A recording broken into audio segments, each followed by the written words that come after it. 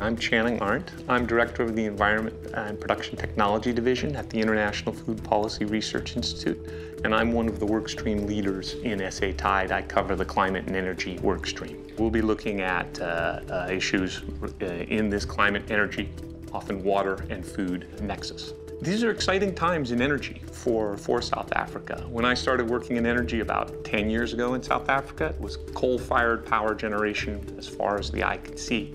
Um, there's been a sea change in uh, generation technologies internationally, and, and, South Africa actually has very, very good uh, renewable resources. So we're looking at, over the next 30, 35 years, a roll-in of, of, renewable energy sources that would generate uh, lower cost electricity, uh, generate more manufacturing, more jobs, greater GDP, and all of this coming in with more with greater environmental benefits. If the rest of the world goes along with South Africa and is using more and more renewable energy, uh, basically mitigating uh, fewer emissions, then you're going to get less climate change.